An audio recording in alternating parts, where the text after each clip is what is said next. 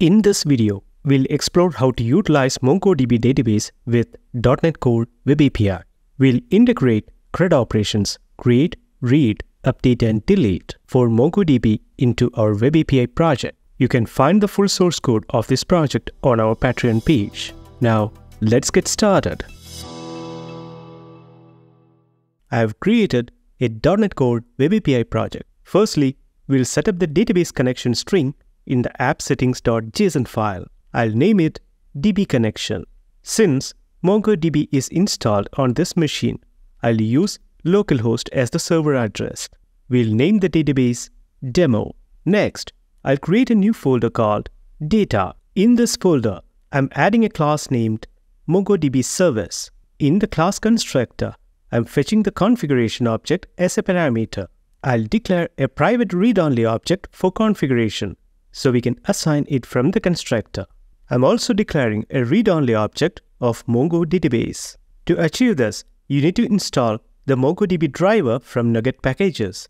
It's already installed in our project. Now, let's retrieve the connection string from the configuration. We'll then create a Mongo URL object using the connection string as a parameter. Next, I'll create a Mongo client object by providing the Mongo URL as a parameter. Now we can obtain the database object from the Mongo client. Additionally, I'm creating a public property for the database object, which will return the private database object. Next, I'm creating a folder named Entities. Within this folder, I'm creating a class named Customer. We'll include the properties such as ID, customer name, and email. Since the ID property is the unique identifier, we'll add an attribute named bson ID. We'll also add attributes like bson element specifying the field name in the MongoDB document and bson representation specifying the data type of the field. We'll provide bson element and bson representation attributes for the other two properties as well. Now, let's create a new API controller. I'll name it Customer Controller. Initially, in the constructor, we'll receive the MongoDB service class object. To achieve this, we need to add MongoDB service as a dependency service. I'll add it as a singleton service. For a more in-depth understanding of dependency injection, you can refer to our video on .NET Core dependency injection. The URL is available in the video description.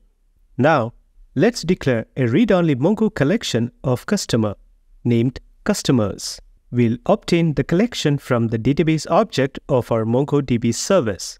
Now, we can begin implementing the API methods for CRUD operations. Let's start with an HTTP GET method to fetch all the customers.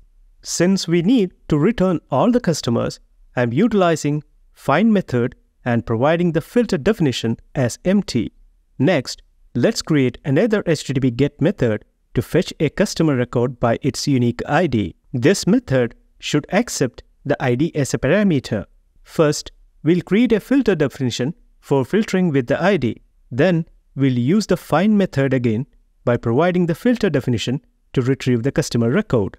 If the customer object is not null, we'll return an OK response along with the object. Otherwise, we'll return a not found result.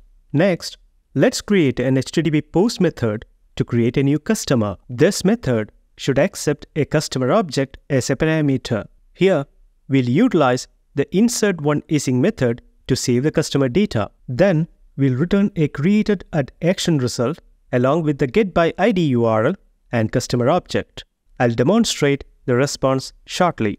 The next method is for updating existing customer data. This method should also accept a customer object as a parameter. For easier identification, let's change the method names to create and update. Here, we need to filter the customer data by the unique ID. Then we can create an update definition and set the values for the customer name and email. Finally, we can use the update one async method and provide both the filter and update definitions. However, as we are updating all the fields, there is another approach we can use. Let's comment out the previous approach. We can simply call the replace one async method by providing the filter definition and the customer object to be replaced. After that, we can just return an OK response. Next, let's create the method for deleting the customer. In this method, we'll need the ID. Now, we can simply create a filter definition to filter with the ID. Then I'm utilizing the delete one async method and passing the filter definition as the parameter. After deletion, we can return an OK response. Let's test our API methods now. First, I'll try the get method. Since we don't have any data yet, you will see an empty array as a response. Next, let's try creating a customer using the post method. I'll provide some values in the request body. After execution, you'll see the customer object in the response body. Additionally, the response headers contain a value named location, which is the get by ID URL, along with the unique ID of the new customer. Let's check in the MongoDB Compass, a graphical user interface for MongoDB database. In the customer collection, you'll see the newly created document. Now, let's try the get method again. You'll see the newly created customer in the response. Let's try the get by ID now. In the response body, we are receiving the customer data. Next, let's try to edit the customer using the put method. I'll provide the same ID and some different name and email. We received a successful status code in the response. Let me try to refresh the data in MongoDB Compass. The data has been changed. Now, let's try the delete method. I'll execute it by providing the ID. We received a successful response. After refreshing the data again, you'll see that the customer is deleted. As we are finalizing the video, I hope you are clear with MongoDB CRUD operations. Don't forget to like, share and subscribe to the channel. See you all in the next video. Thank you.